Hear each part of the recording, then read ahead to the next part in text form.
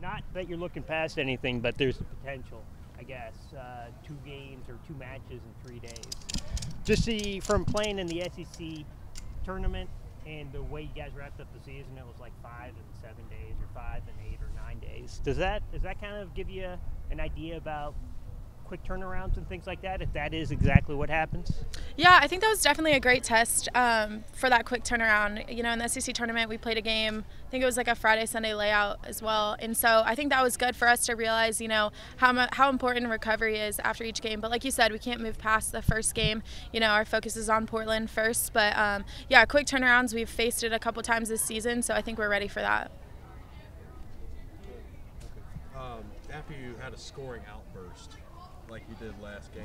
What things that you did well are you going to want to translate into this Friday's game? Yeah, um, I think last game was a great opportunity for a lot of people to, you know, get the ball in the back of the net, and it was super exciting. Um, I think what really helped us was just our movement off the ball. You know, everyone wanted the ball, everyone was willing to move and get open in spaces, and I think that's what allowed for our creativity and opportunities in the box.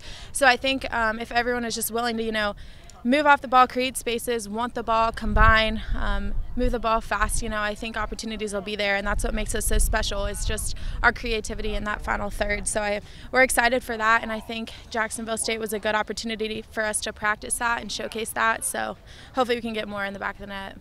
You guys maintain the pressing and hunting style of play throughout the season. What goes into an entire team just buying, buying into that and keeping it even going through the NCAA tournament? Yeah, it's like you hit on. It's everyone has to be bought into that to that um, pressing style. You know, if one person's late, if one person isn't on board with it, it can break it all down. So I think for us, that's what makes us so special and so unique is our ability to press and hunt for all 90 minutes. Um, and I think every person on this team has really embraced their role in that aspect and what they need to do with that. Um, whether that's you know a midfielder stepping up with our front line, whatever it may be, you know, that that pressing mentality is a whole we have to do it as a unit. And so I think we've kind of really embraced that in our style and um, hopefully keep implementing it.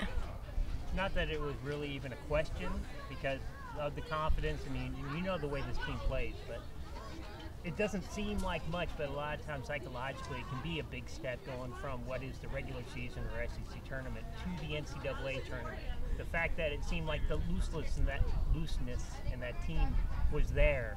Again, it, it didn't answer a question, but it was something where it's like we, we are this loose group no matter what the, we're facing, really. Right. Yeah. No, I think that. Um, the SEC tournament was a good test to be on that big stage, and the NCAA tournament is a big stage, and you know, um, every game matters. And for us, uh, being able to be in that top stage in the SEC championship final, I think gets those nerves and everything out of the way. And like we said, you know, we have to take it one game at a time, and if everyone's bought into the game at hand, you know, things will take care of itself. So I think um, for everyone, you know, just seeing that result in the first round and being in the top stage in the NCAA tournament and being at home was something that was huge for us. And um, I think every single person embraced it. And you know, for us, it's it's just another game. It's it is a big stage and it is you know um, a big atmosphere. But for us, it's just another game. And so I think if people can have that mentality going into the game um, and just play like we usually do, hopefully we'll get what we want from it.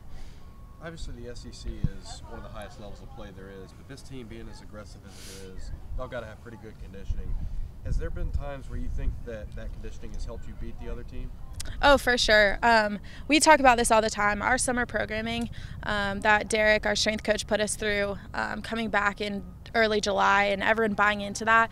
I mean, we can see it each and every day, you know, um, when 70 minutes rolls around and we're still pressing, we're still hunting, we're still fighting, you know, that's all that fitness that we did in the summer. And so for each and every person, we knew this summer, like how special it was. And, um, you know, we'd go out in the field and do pickup and we couldn't even get people to get off the field. You know, we had to maintain our loads, and it was by telling people like we have to shut it down. So for people to be that willing and bought into our summer programs and just the conditioning and that aspect, because obviously when season rolls around, we're playing games like crazy. You can't really condition um, in season, and so for us, you know having that in our like having that from the beginning was something that was crucial for us and you know we can see it to this day i think each and every person can press and hunt for 90 minutes and still keep going. So it's definitely helped us for sure. So tomorrow's game is set to be in about the 50s. I you've played a lot of warm weather games throughout the season. Do you do anything different as a player, even as a team, to kind of prepare for a more cold weather game?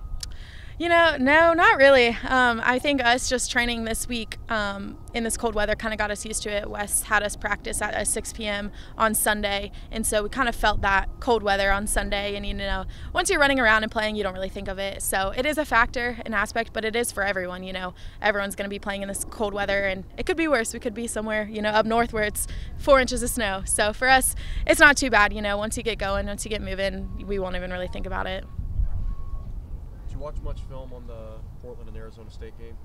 Um, we've talked about it a little bit as a team, and we've kind of run through some things in practice. But it, you know, we played before them, and so a lot of us were able to watch the game um, live. And you know, it's we can watch film and everything, but at the end of the day, we're still gonna you know do what we do. Um, not a whole lot will change. So. You know, we've we've implemented some stuff and kind of talked through some things, looked at their key players, but I mean, for us at the end of the day, it's how we're going to play our game. Kind of piggybacking off of that, course, there are teams that are ranked either below, above or below you in the RPI. What goes into making sure you don't, I guess, play down to an opponent or just play based off an opponent's skill level?